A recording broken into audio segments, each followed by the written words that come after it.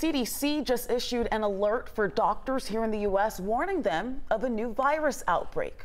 I know, right? Another one? Okay. Well, the agency is asking physicians to be on the lookout for cases of Marburg virus. And you might be thinking, what is Marburg virus? Paola Suro joins us now to break down what exactly it is and what the infection looks like. Hey, Paola. Yeah, Faith, I've got that answer for you. Marburg is in the same family as Ebola. Both diseases are viral, fatal, and can cause internal bleeding and damage to your organs. So let's show you a list of the symptoms people with Marburg can experience. These include headache, fatigue, and and bleedings. And while there have yet to be cases reported in the U.S., the CDC says it is important doctors see the warning signs of this infection they are calling rare but deadly.